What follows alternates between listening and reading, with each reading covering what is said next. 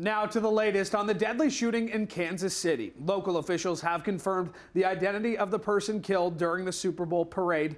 The gunfire erupted at the end of the event, and hospitals confirmed that more than 20 people were hurt, half of them being children. Investigators say the three people taken into custody have yet to be charged, and they continue to search the scene. Jason Gaidola joins us live in studio with the latest. Jason? Uh, hey, Louie. Uh, investigators are confirming that two of the three detainees are under the age of 19 and believe the shooting is linked to a personal dispute. No, oh, we tackled him. Might, we tackled him. Yeah. When, when we tackled him, the gun came out. In the heat of the moment, Paul Contreras heroically tackled a suspicious person following gunshots at a Super Bowl celebration. He got close to me. I got the right angle on him, and I hit him from behind and when I hit him from behind, I either jarred the gun out of his hand or out of his sleeve.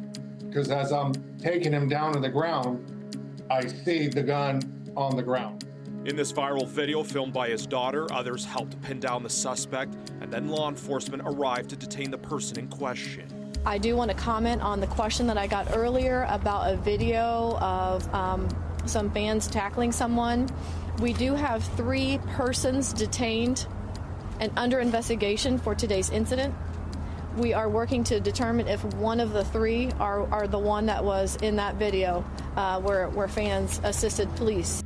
Kansas City's police chief says investigators are still trying to determine a motive, but it believes it ties into a personal dispute between several people.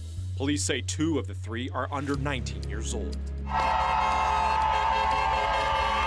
While the NFL's Kansas City Chiefs made it through its Super Bowl celebration to Union Station, it was at the end of the rally when shots were fired. As fans frantically tried to escape, authorities say more than 20 people were hurt, half of them being children as young as 8 years old. And one person was tragically killed, local DJ Lisa Lopez Galvan. She regularly DJs many events throughout Kansas City, and I last celebrated um, a fiesta milestone with her and her family uh, on stage, and we were uh, celebrating uh, culture and, and, embracing her passion. Uh, and it is such a tragic loss, um, both to our community but also to her family. Despite the presence of hundreds of officers, many fans feared for the victims and their own lives. And it struck me that when I was a kid growing up, I wasn't taught how to shelter in place with an active shooter. We had things like tornado drills. We didn't have what to do if somebody comes in seeking to kill you. And it was just such a surreal experience. You never think it's going to happen to you or in your environment. An estimated 1 million people took part of the 48th mass shooting in the U.S. this year.